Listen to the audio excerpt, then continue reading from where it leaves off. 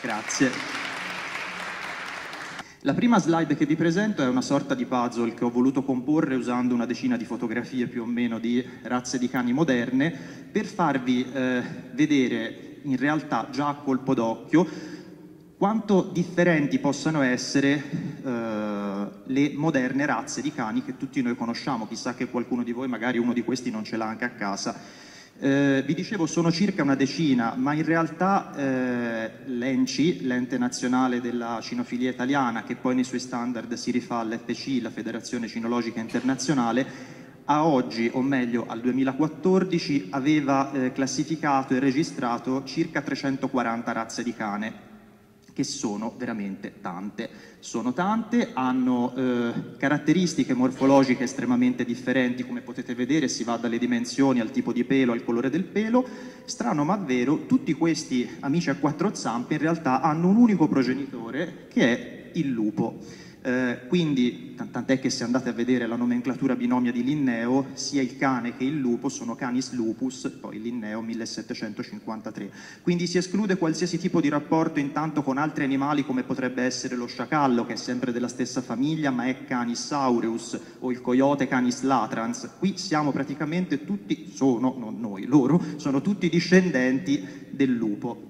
Questa è la, una tomba, è la tomba H104 del sito natufiano di Ain Mallaha, che è una località del nord di Israele, si data al 9600 a.C. circa, ed è la prima eh, prova archeologica tangibile di un legame affettivo fra l'uomo e il lupo barra cane. In realtà ancora non sappiamo se era proprio un cane ben formato o ancora un lupo nel, colto nella sua trasformazione.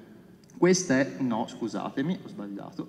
ci devo prendere la mano anch'io. Allora, questo è lo scheletro di un'anziana donna che era sepolta in questa tomba. Ora voi non so se riuscite a vederlo, ma qua praticamente lei appoggia la mano su un mucchietto di ossa che in realtà sono le ossa di un cucciolo di mh, canide, chiamiamolo canide, che è più sicuro. Ecco, non è che questo can lupetto cagnolino è stato posizionato nella tomba come banale offerta, questo sta proprio sotto la sua mano, c'è un gesto qui che è inequivocabile ed è la prima prova di questo legame affettivo fra l'uomo e il lupo cane.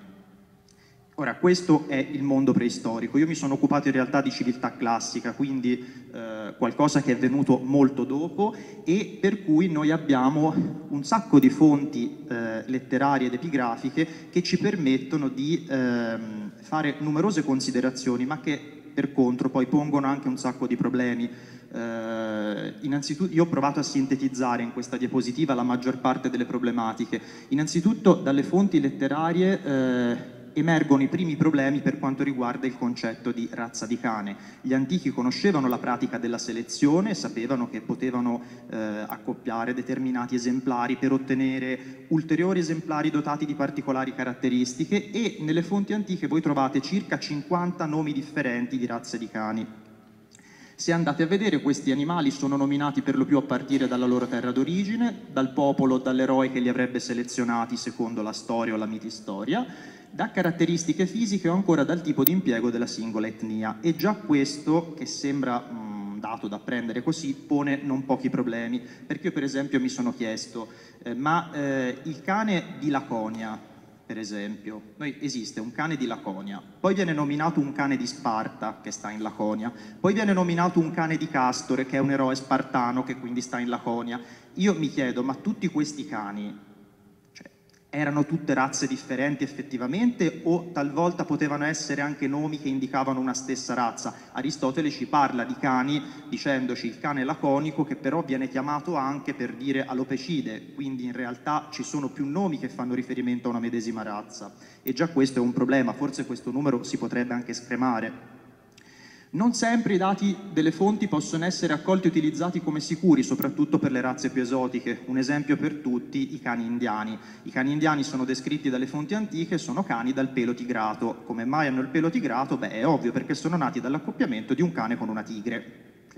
Ovviamente è zoologicamente impossibile eh, e biologicamente impossibile, eh, ma mh, questo vi rende anche l'idea di, mano a mano che ci si allontana dal, da quello che è il mondo greco, le conoscenze anche degli antichi andavano rarefacendosi e quindi poi alle conoscenze quelle più oggettive sull'animale andavano mischiandosi anche dati fantastici e quindi anche qui bisogna operare con estrema cautela. Per quanto riguarda l'arte antica, io mi sono occupato soprattutto di arte greca, eh, si conoscono invece un, eh, una serie di tipologie abbastanza ridotte come numero rispetto a quel grosso numero di fonti antiche che vi ho nominato e, e raramente queste tipologie appaiono identificabili come razze ben precise, cioè è difficile prendere un cane disegnato su un qualsiasi, rappresentato su un qualsiasi tipo di supporto e dire bene questa è la razza XYZ. Ora vi spiegherò poi perché. Eh, ah, sicuramente anche uno dei motivi che è ovvio anche per il problema della natura stilistica. Eh, se prendete un reperto eh, che si data al periodo classico ellenistico avrà una caratterizzazione, un modo di essere raffigurato che sarà più dettagliato e più fedele alla realtà che non per esempio un reperto dell'età orientalizzante, cioè del VII secolo a.C. o addirittura uno dell'età geometrica VIII secolo, dove le forme sono molto più stilizzate. E poi da ultimo abbiamo i reperti osteologici, che uno potrebbe dire, beh, uno si occupa di archeologia, vuoi non andare a prendere in considerazione anche gli scheletri? Ma gli scheletri sono comunque problematici anche per, per conto loro, perché ehm, lo, lo scheletro vi permette di fare delle considerazioni di carattere eh, morfologico sulle dimensioni, sulle proporzioni, ma ovviamente si, se trovate uno scheletro avete appena perso tutto quello che è l'apparenza del cane, si dice i fenotipi, cioè i caratteri esterni visibili, eh, la forma delle orecchie, la grandezza del naso, il colore del pelo, il tipo del pelo, quindi eh, questo non è che ci aiuta poi tantissimo nella definizione delle razze. Allora, com'è che io mi sono mosso? Io sono partito proprio dall'analisi di questi fenotipi etnici, cioè le caratteristiche visibili, osservabili dell'animale.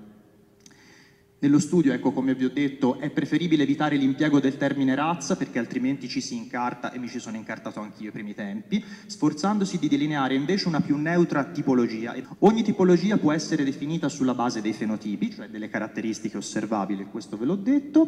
Una volta definita una tipologia di base per i fenotipi, solo allora si può tentare di eh, ricorrere alle fonti antiche, quelle della letteratura e dell'epigrafia, per provare ad avanzare un'ipotesi di identificazione. Partiamo con un esempio perché è la cosa migliore.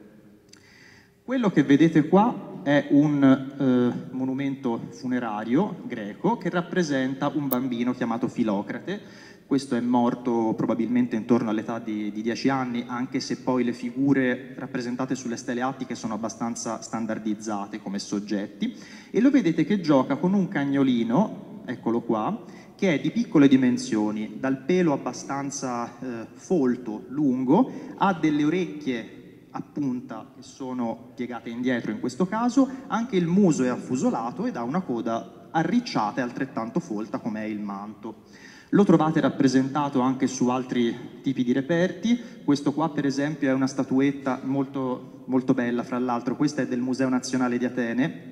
eh, chiamato The Little Refugee, il piccolo profugo, perché è arrivata nel museo nel 1922 quando i greci e gli armeni stavano fuggendo da Izmir, dall'antica Smirne, per via delle persecuzioni dei turchi, eh, e rappresenta un'opera d'età romana, copia da un originale ellenistico, con eh, l'immagine appunto di un bambino nell'atto di sollevare questo cane, come fanno i bambini, quando non riescono ad alzarlo con le mani perché non hanno abbastanza forza, lo abbracciano e lo tirano su con tutto il corpo.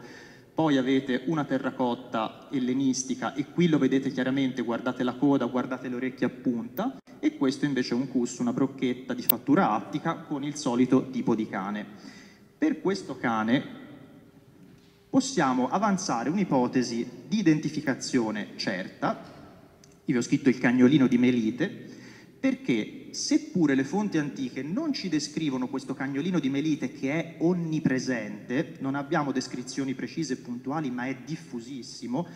ehm, loro si limitano a dirci che è un cagnolino è piccolo, Aristotele ci dice più o meno delle dimensioni di una martora, di una ictis, con questo mai detto tutto. Ehm, in realtà noi siamo abbastanza fortunati perché possediamo una rappresentazione vascolare, che è questa qua, è un disegno perché il vaso originale è andato perso, ma si, ma si conserva ancora oggi la rappresentazione, quello che c'era disegnato sopra sulla superficie, e vedete che è un giovane uomo che ha ai suoi piedi un cagnolino che seppur un po' più stilizzato, ma i fenotipi, le caratteristiche sono quelle che vi ho mostrato prima, che si rivolge a lui con questa specie di fumetto e gli dice melitaie, quindi è chiaramente il cagnolino di Melite, quello che i greci chiamano il Melitaion Cunidion.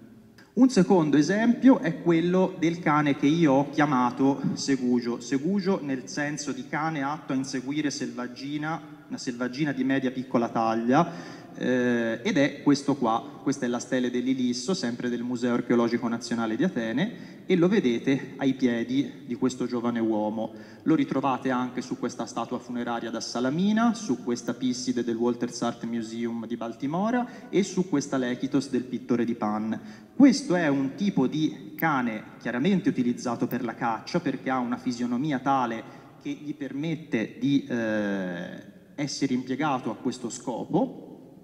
e nelle fonti a questo tipo di fisionomia eh, corrispondono diverse razze di cani, fra cui io vi ho segnalato in particolare sono il cane di Laconia, il cane di Creta e il cane di Caria. Allora io vi faccio vedere questa slide, non ci sono eh, identificazioni certe, ma c'è un'ipotesi di identificazione. Questa è una stele funeraria attica che è conservata oggi a Basilea, sempre dell'età classica, e è eh, dedicata a due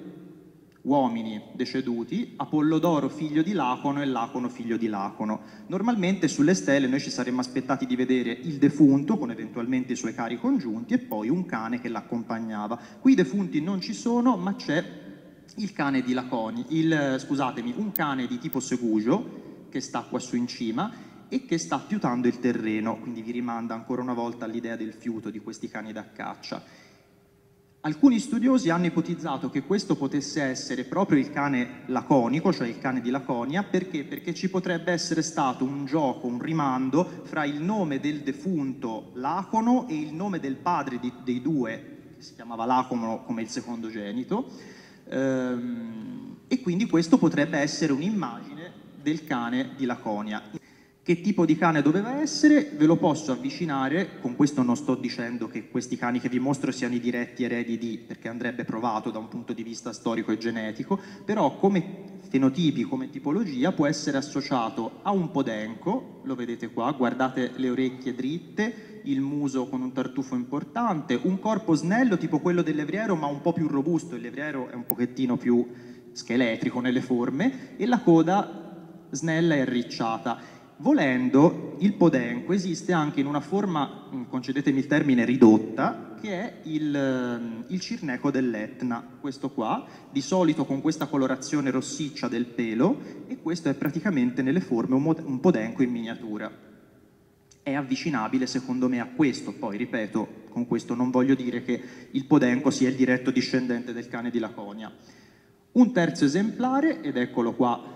vi ho messo il cane, uno dei due cani degli Uffizi, che poi non sono solamente questi due, ma se andate ai Vaticani ce ne sono altre due che sono chiaramente sempre repliche dello stesso tipo. Un'altra, il Jennings Dog, si trova al British Museum, quindi non ce ne sono poi solamente due. Era un soggetto molto famoso in antico, anche se non sappiamo se doveva avere una destinazione funeraria o votiva. Eh, e poi vi ho messo due esemplari attici, questo, museo, questo, è al Museo del Pireo, viene dalla necropoli del Pireo, questo qua invece è del ceramico di Atene, e poi vi ho messo un esemplare anche romano, questo è dalla necropoli di Aquileia, è una um, pseudocista, cioè dovrebbe rappresentare un contenitore per le ossa del defunto, che però è pseudo, nel senso che è marmo pieno, non è cavo all'interno, non ha uno spazio per accogliere i resti del defunto ed è interessante perché sulla cista è rappresentato un cane di tipo molosso accovacciato che appunto sembra fare la guardia al, al padrone. Qui c'è da fare un, una piccola puntualizzazione. Questi sono tutti cani tipo molosso, però se ora io vi faccio vedere le caratteristiche del molosso così come ci sono riportate dalle fonti, Guardate, il molosso ha la bocca carnosa, vi ho messo qui l'immagine di un cane corso che è considerato il diretto erede del molosso antico. Ehm, la bocca carnosa, di colporatura robusta, la testa grossa, le orecchie piegate, il petto ampio e peloso, le zampe massicce e la coda corta. E poi ci dicono il colore ideale è il nero perché essendo un cane da guardia la notte si mimetizza meglio nell'oscurità e il ladro non lo vede e viene preso.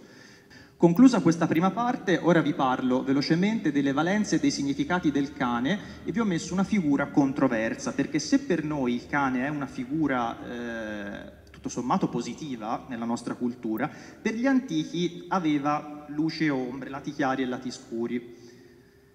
Il cane è solitamente percepito come un animale fedele, ma all'occorrenza può rivelarsi anche un ingordo e un opportunista. Questo lo vedete chiaramente se vi prendete le favole di Esopo. Il cane condivide gli stessi ambienti dell'uomo, addirittura pensate la mensa dell'uomo, esistevano dei cani in antico chiamati proprio cani da mensa, chiumes trapezees, perché venivano, lo vediamo anche sulla ceramica e nelle arti in generale, legati con un guinzaglietto alla mensa del padrone e praticamente mangiavano gli avanzi, quello che il padrone non mangiava lo lanciava a terra e il cane lo mangiava. Pur condividendo gli stessi spazi di vita del padrone, in realtà il cane sa anche essere un animale estremamente sporco e disinibito la mitezza e l'amore del cane per il padrone possono essere talvolta oscurati dalla follia di cui il cane cade preda e dalla sua ferocia, e qui avete l'esempio lampante di Atteone, Atteone famoso cacciatore del mito che a un certo punto vede Diana nuda mentre fa il bagno in una fonte, viene punito, viene trasformato in un cervo, o a seconda delle fonti sono i cani che lo vedo, impazziscono e lo vedono nelle forme di un cervo, e viene sbranato vivo dai suoi stessi cani che pure gli volevano tanto bene. E poi la sua presenza è tanto associata alla fertilità e alla nascita quanto alla dannazione al mondo dei defunti. Questa slide l'ho intitolata Il migliore amico del cane, perché in senso ovviamente provocatorio, perché se il cane è il migliore amico dell'uomo, l'uomo ogni tanto fa delle cose al cane che non sono proprio da miglior amico. Eh, vi ho messo tra pratiche cultuali, magia e medicina popolare. Sembra strano, ma è così, il cane in antico era un animale che rientrava nel novero di quelli sacrificabili agli dei. In Grecia e a Roma c'erano diverse divinità che chiedevano sacrifici di cani, in Grecia Ecate, la dea della stregoneria, che, eh, a cui era offerto il sacrificio di un cucciolo, in particolare il Perischula Chismon, ce ne parla Plutarco.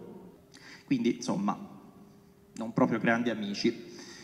Eh, poi c'è tutto il discorso della medicina. Il cane può essere consumato in toto in parte a scopo terapeutico. Per la verità Plinio il Vecchio è il primo che dice queste pratiche esistono, ma più che medicina è veramente folklore e magia questa qua. Eh, per esempio chi veniva morso da un cane idrofobo per essere protetto dall'idrofobia doveva consumare le ceneri della testa di un doveva mettere, scusatemi, le ceneri della testa di un cane sulla ferita oppure consumare come cibo la carne salata di un cane. Il cane però può anche curare senza necessità di dover essere fatto a pezzi e consumato. Questo è il caso dei santuari di Asclepio. Eh, Asclepio è legato intimamente al, al, cane perché quando era piccolo, secondo il mito, era stato abbandonato sul monte Tizione e una cagna l'aveva trovato e l'aveva allattato, quindi è un dio che ha un rapporto particolare con i cani, tanto particolare che eh, se andate a vedere, per esempio, nell'Asclepieion del Pireo ho trovato i mh, resti di una, di una, prescrizione rituale che parla di offerte a tutta una serie di divinità legate eh, ad Asclepio, Apollo Maleata, eh, Iaso, Acheso e Panacea che sono tre sue figlie e poi c'è un'offerta ai cani e ai cacciatori con i cani. Questi non sono probabilmente cani reali, sono cani di carattere divino, quindi ricevono offerte sugli altari come anche questi personaggi che vi ho elencato. Poi ci sono anche, non ve le ho messe, ma ci sono anche delle testimonianze interessanti dal Peloponneso che parlano di bambini guariti dai cani di Asclepio, in particolare un bambino cieco e un bambino che aveva un tumore nel senso di un gonfiore sul collo, si recano al santuario d'Epidauro, come entrano dentro questi cani di Asclepio gli vanno incontro, gli danno una bella leccata, uno sugli occhi e uno su questo gonfiore, e i bambini guariscono e allora lasciano queste stele a ricordo appunto di questa guarigione miracolosa. I cani sono compagni nella vita e oltre la vita. Vi ho messo questa, questo pezzo dell'Odissea che non sto a leggervi tutto, è l'incontro fra Odisseo e Argo, lo sapete dopo 20 anni che Odisseo è lontano dalla patria, torna a casa e l'unico che lo riconosce sotto le mentite spoglie dopo, con l'incantesimo di Atena che l'aveva invecchiato è il cane Argo che è sdraiato su un letto di letame pieno di zecche perché ormai nessuno se ne cura più, ma quando questo vecchio gli passa vicino il cane Argo abbassa le orecchie e scodinzola perché riconosce il padrone, solo che non ce la fa ad alzarsi e resta lì sdraiato e Odisseo per non tradirsi è costretto a girare la faccia e piangere perché appunto questa scena lo, lo tocca. Un altro problema in realtà che è quello dell'offerta del cane come eh, parte del corredo, quindi l'offerta del cane nella tomba, nel sepolcro, ed è qualcosa che ehm, risale fino all'età micenea e lo si ritrova anche nei poemi omerici. Patroclo quando muore eh, gli viene allestito un, uh, un funerale eroico da parte di Achille e fra le tra le offerte funerarie che vengono poste sulla pira ci sono anche due dei suoi nove cani che vengono sgozzati e gettati fra le fiamme. Questo è qualcosa che effettivamente si trova, cioè il sacrificio dei cani esiste già nelle tombe micenee e prosegue per tutta la Dark Age fino agli inizi dell'età, eh, dell'età del ferro, quando poi piano piano scompare e si cominciano a trovare dalla tarda età arcaica i primi accenni a sepolture di animali che non sono più sacrificati ma sono sepolti in quanto tali. Eh, cioè c'è un discorso di affetto, di amore che permette quindi di dargli una sepoltura a parte. Trovate poi, ora non ve li leggo tutti perché altrimenti non si finisce più, però ci sono eh, sia i primi due sono epitaffi, cioè iscrizioni funerarie, ce ne sono tantissime, eh, vi ho messo queste qua perché secondo me erano carine.